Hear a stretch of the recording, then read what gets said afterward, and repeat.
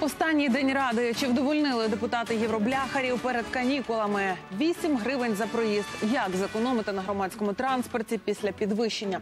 Нетеплий прийом. Дональд Трамп з візитом по Великій Британії. В ефірі новини підбиваємо перші підсумки п'ятниці. Я Ольга Бондарчук. Добрий вечір.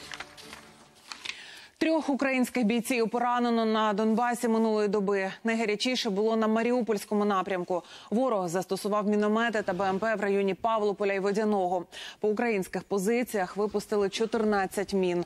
Бойовики поновили обстріли і сьогодні зранку. Загалом за добу найманці 24 рази порушили режим перемир'я. По кілька разів на день окупанти атакували наші опорники під Авдіївкою, Талаківкою, Лебединським. Зважаючи на загрозу життю українських бійців, наші вояки мусили стріляти у відповідь. В результаті активної оборони армійців двох бойовиків знищено, трьох поранено. Сьогодні в Олега Сенцова день народження. Йому виповнилося 42 роки. І сьогодні ж 60-й день від початку його голодування в колонії Лабентангі. Режисер вимагає звільнити усіх українських політв'язнів з російських буцегарень. Мати Олега Людмила Сенцова ще 22 червня написала Путіну клопотання про помилування сина. Досі на цей лист від Кремля жодної реакції. Станом здоров'я українського бранця занепокоєна навіть Канада. Про це на своїй сторінці у Твіттері написала міністр закордонних справ країни Христя Фріланд і додала, Москва має негайно звільнити Олега Сенцова та інших політичних в'язнів. Засуджений в анексованому Криму український активіст Володимир Балух і далі перебуває в загальній камері Сімферопольського СІЗО. Про це повідомив заступник голови меджлісу кримсько-татарського народу Ахтем Чийгоз. Він каже, що це вкрай погано позначається на здоров'ї українця, адже той голодує вже 116-й день і потребує кращих умов утримання. Нагадаю, в Криму Володимира Балуха засудили до п'яти років колонії. До восьми років колонії суворого режиму також в окупованому Криму засудили фігуранти так званої справи українських диверсантів Євгена Панова. Два роки тому ФСБ оголосила про затримання українців, які нібито готували теракти на території анексованого півострова. Російські змі гучно розказували про підступні плани диверсантів і демонстрували усілякі терористичні знаряддя. Затриманих спочатку утримували в московському Лефортово, потім перевели до Криму. Один із них, Андрій Захтей, підписав досудову угоду зі слідством. В лютому його засудили на 6,5 років колонії. Панов співпрацювати зі слідчими відмовився. Загалом по цій сфабрикованій справі затримали 12 українців. Адвокати стверджують, що бранців неодноразово піддавали тортурам. Зелене світло для євроблях. Верховна Рада підтримала зменшення акцизів для машин на єврономерах. Втім, тільки у першому читанні остаточного зменшення цін на ввезення таких автівок можна лише чекати лише восени. Нардепи мають допрацювати документ і запропонувати свої правки. Ну а поки що парламентарі закрили восьму сесію і пішли на канікули. Як відпрацювали останній робочий день, розповість Ксенія Барвіненко. П'ятниця 13-го на диво стала для депутатів багатою на рішення. Менш ніж за годину нардепи встигли проголосувати кілька важливих законопроєктів. А розпочалось засідання традиційно з години запитань до уряду. Говорили і про економічні перспективи країни, і про зростання ціни на газ. Щодо останнього прем'єр пообіцяв – боротиметься до кінця. Це може бути тільки вимушений крок для того, щоб не допустити економічної катастрофи і злиднів для українських громадян. І тому зараз ми на так чітко стоїмо на цих позиціях. Я буду просити консультації з лідерами фракції по цьому питанню. І буду просто показувати там два сценарії, три сценарії, на які ми можемо піти. І хоча в порядку денному цього не було, нардепи з голосу внесли на розгляд одразу два документи про зменшення акцизів для авто на єврономерах. Парламент ініціативу підтримав, і документ профільного комітету ухвалили за основу в першому читанні. Він пропонує розраховувати акцизи для євроблях залежно від віку автівки і об'єму двигуна. Базові ставки 50 євро для автомобілів на бензинових двигунах з об'ємом двигуна 1000 сантиметрів кубічних і 75 євро для дизельних автомобілів на, на дизельних двигунах. Далі застосовуються два коефіцієнти: коефіцієнт об'єму і коефіцієнт віку. Рахуються дуже швидко і просто. Справді на автомобілі більш старі. Ну помножити на 20 чи помножити на 25, відповідно сума акцизного податку зростає. Більш вигідно придбавати автомобілі до 15 років і навіть до 10. Євробляхарі одразу ж після голосування зняли дводенну облогу урядового кварталу. Автівок на єврономерах, як і мітингувальників, значно поменшало під парламентом. Втім, зо три десятки машин все ж таки залишились у середмісті столиці. Тільки радіти водіям євроблях нічого кажуть в опозиції. авто, яке старше 7-10 років, двохлітрове, буде мати акциз півтора тисячі євро. А нове авто п'ятилітрове акциз 250 чи 300 євро. Закон не вирішує проблему тих, хто сьогодні їздить на євро номерах. Закон шахрайський. І добре, що прийнятий. Вони хотіли прийняти його ще і в другому читанні, в першому читанні. Євробляхарі – це не тільки заблокований рух у центрі Києва. Євротази частенько в години пік закипають, тим самим створюючи багатокілометрові затори. Правила дорожнього руху, як і податки, не для них. Від водіїв на євробляхах на дорогах намагаються триматися подалі.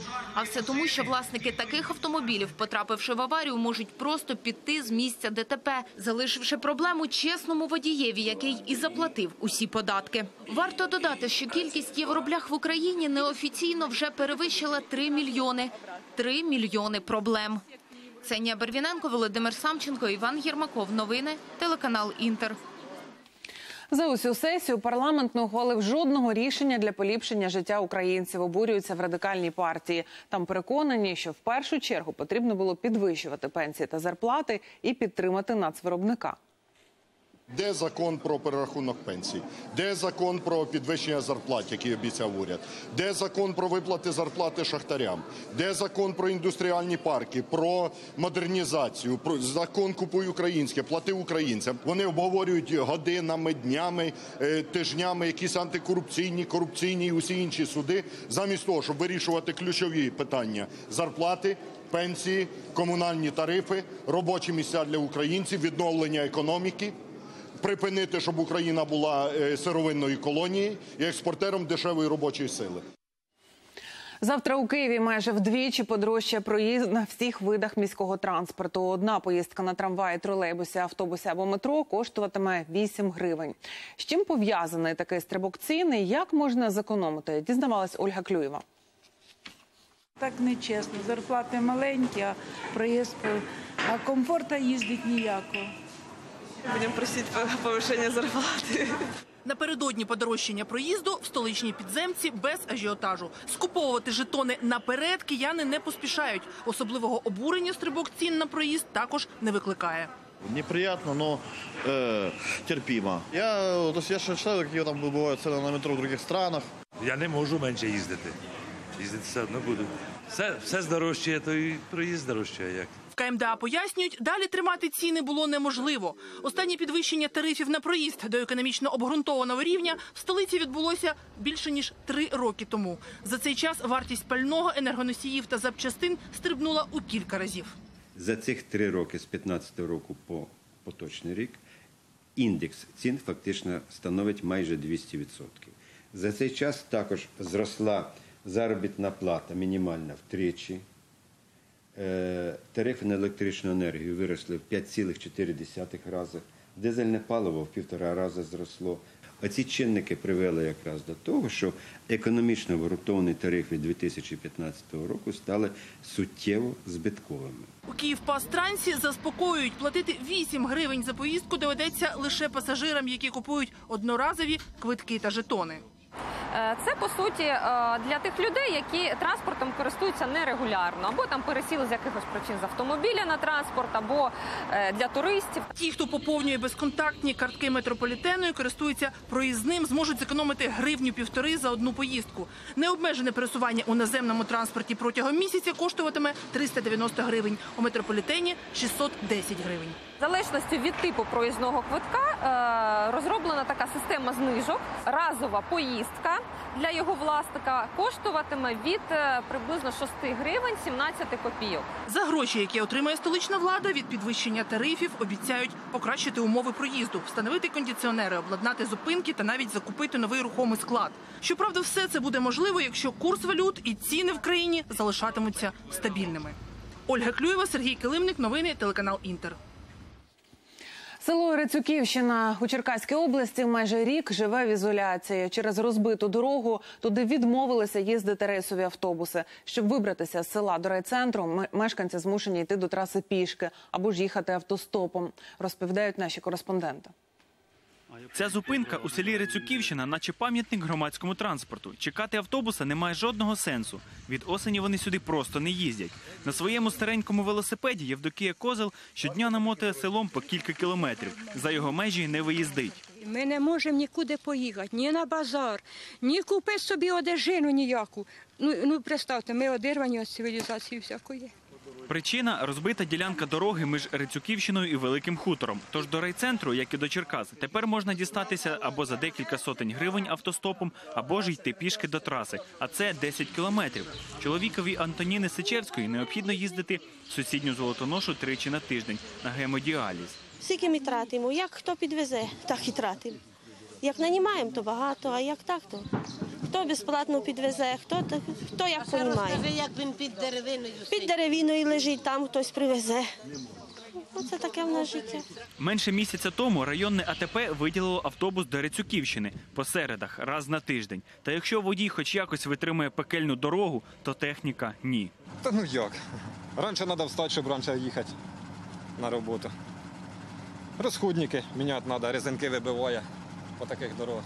Востаннє цю дорогу латали в 96-му році. Надії на капітальний ремонт були в нинішньому. У зв'язку з децентралізацією з дорожнього фонду Драбівського району виділили на траси місцевого значення майже 10 мільйонів гривень. Але ділянка на Рицюківщину і досі залишається тільки у планах. Ми звернулися до голови обласної державної адміністрації про виділення е, з клопотанням про виділення ще принаймні 10 мільйонів гривень конкретно на цю дорогу. І, і наступним листом ми гарантували співфінансування з районного бюджету не менше 30%. В області кажуть, те, що районні чиновники готові допомогти грошима, чудово, але от у них коштів вже немає. На Сьогодні вже е, всі тендери ми зіграли по всім районам. І сьогодні на всю суму дорожнього фонду 391 мільйон зіграні всі тендери. І ремонти розпочалися по всім районам. Тож сподіватися на ремонт і на те, що автобуси вже не оминатимуть Рицюківщину, людям не доводиться.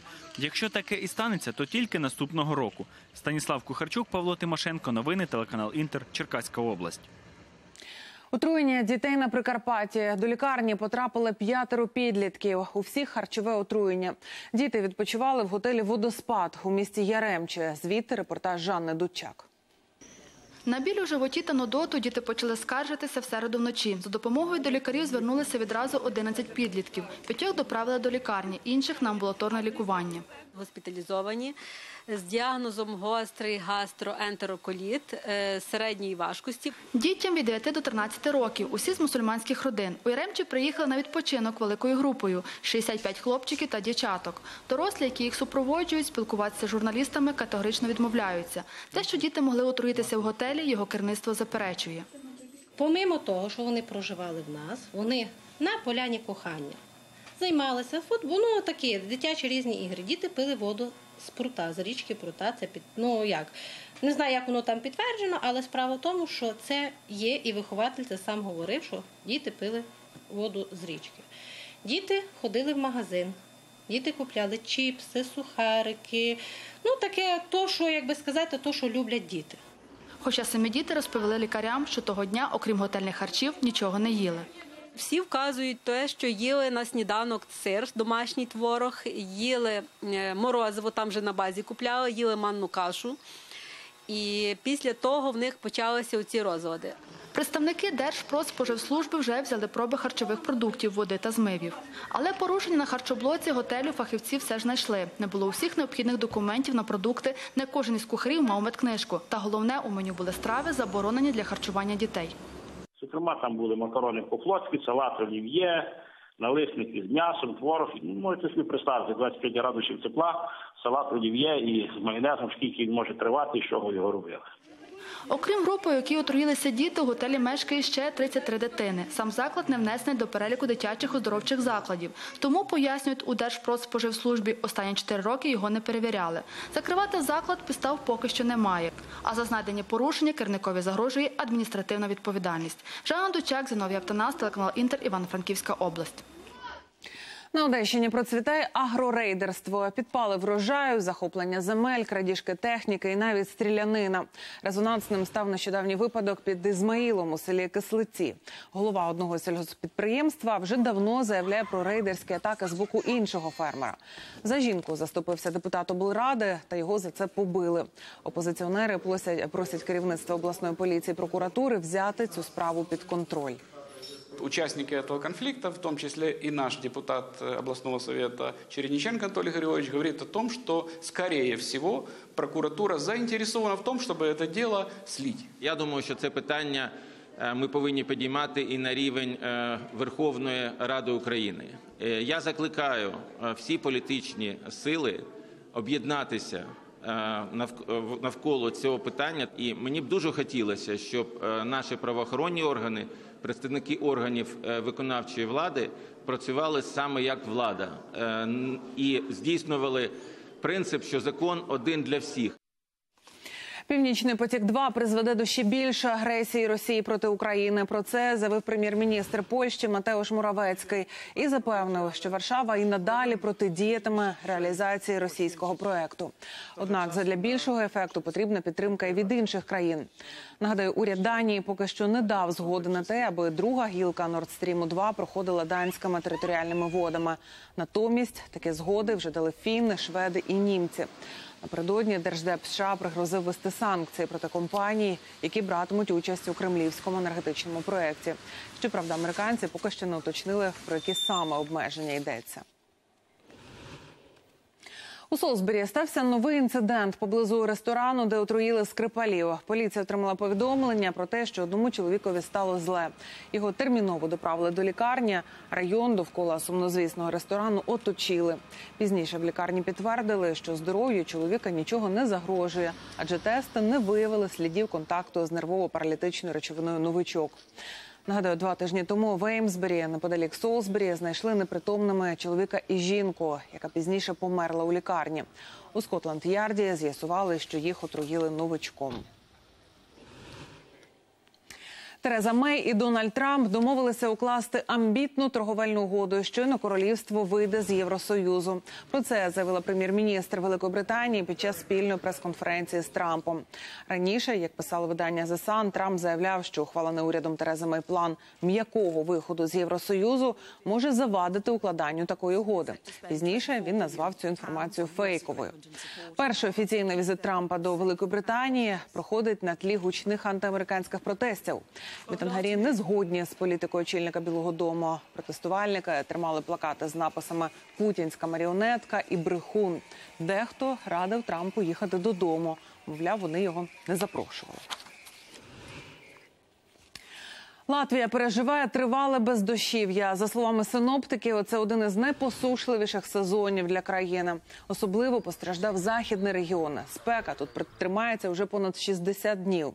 Зернові культури та овочі не ростуть навіть на найродючіших землях. Декому доводиться брати кредити, щоб оплатити додатковий обробіток ґрунту.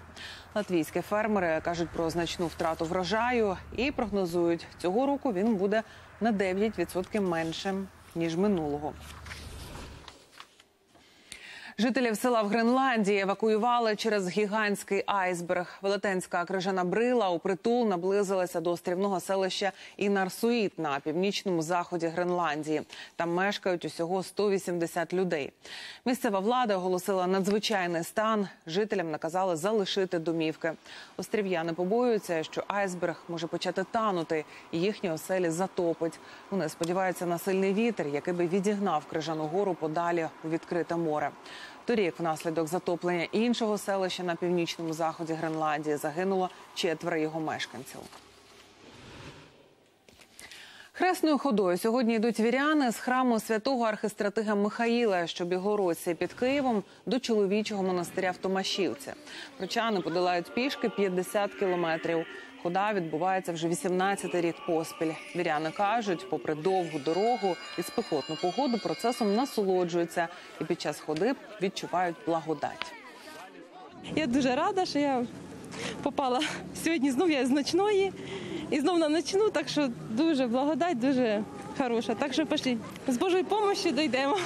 Було э, таке общенародное решение от Бога, и Божья Матерь это все приняла, и теперь она благословляет. Видите, э, сначала были считанные люди, ви ж пам'ятаєте, а теперь, пожалуйста, сколько людей, значит это все живет в серцях не только людей, наверное, даже на небесах. Прибери заповідний острів. На таку акцію зібралися сьогодні столичні активісти. Вже не перший рік вони очищують Київські острови від сміття. Де побували цього разу? Анастасія Старовойт розкаже. В акваторію Дніпра вийшли яхти, катери і човни. За сьогодні активістам потрібно прибрати цілий острів. У пляжний сезон вода змиває з берегів десятки тонн сміття. Частину з нього прибиває до маленьких островів, дістатися до яких можна тільки на човні. Юрій вже четвертий рік поспіль бере участь у такій акції. Каже, після відпочивальників можна знайти що завгодно – від поліетиленових пакетів до бамперів автівок. Ця ж бутилка сюди не попала сама по собі. Якщо ти приїхав відпочити і так далі, привези ось такий мішок або візьми мішок той, в якому ти купив продукти, привіз. Загрузи і е, викинь його в централізоване місце, щоб тут було чисто. Коли ти приїдеш наступного разу, щоб ти міг е, насолоджуватись природою, а не шукати собі той кусочок місця, де ще не нагадали. Усього Київських островів 34. Усі вони входять до регіонального ландшафтного парку Дніпровські острови площею понад 1200 гектарів. Активісти кажуть, тримати у чистоті таку велику територію непросто. Прибирати є кому, але ті, хто забруднює, їх набагато більше, ніж ті, які прибирають. Та все ж учасники акції сподіваються, своїм прикладом змусять інших не лишати після себе відходи, де заманеться. Я так вважаю, що з часом до людей дойде. Що це наше, наше місто, це наш, е, наш край, наша природа. І якщо ти захочеш другий раз сюди прийти і тут буде чисто, то тобі буде е, набагато приє- приятніше. Організатори акції розповідають, за 9 років її проведення територія островів завдяки активістам, які тут прибирають, вже не так потопає у смітті. То, что действительно э, в ближайших островах за последнее время уменьшилось мусора, это факт. Факт, который как бы мы видим и э, м, фиксируем. Но если э, пойти чуть дальше э, на острова, чуть ниже по Днепру, то я скажу, картина там э, довольно грустная. За сьогодні лише тут активісти назбирали десятки мішків зі сміттям. Та це лише мізерна частина, адже потрібно очистити ще 33 острови. Анастасія Старовойт, Віталій Коваленко. Новини телеканал Інтер. Створення кіношколи, відродження дитячого кіно і зйомки українсько-норвезького серіалу. Таким бачить своє найближче майбутнє в одеській кіностудії. Як і чим живе сьогодні кіновиробник зі столітньою історією? Дивіться далі. В Одесі має з'явитись повноцінний музей історії кіно. Гроші на це виділяє обладміністрація. Вже готовий проект ремонту та об'єднання існуючих музеїв спілки кінематографістів та кіностудії. Та Одеська кіностудія це передусім майбутнє. Переконані представники кінематографістів. Кажуть, наразі перед ними стоїть чимало викликів, зокрема, переорієнтація з російського ринку на європейський. Серед головних амбіцій перетворення кіностудії на культурний центр міста та майданчик для креативних і технологічних компаній. Ми шукаємо нові унікальні для українського ринку технологічні рішення. Е, У нас є план реконструкції знімальних павільйонів і приведення їх у відповідність до сучасних вимог. І ми хочемо розробити концепцію облаштування беклотів для того, щоб тут можна було знімати фільми. Американці готові вкладати гроші у новітні технології. Зокрема, в Одесі планується створити базу сучасного оброблення звуків та візуальних ефектів. Чимало планів щодо кіновиробництва. Приміром, кіностудія хоче подати на конкурс патріотичного кіно оновлену стрічку Пам'ять сонця. Зараз це оновлений фільм, е, фільм, режисером якого виступить е, Константин Коновалов, е, сценаріст е, Євгеній Тимошенко. Сценарій істотною мірою перероблений.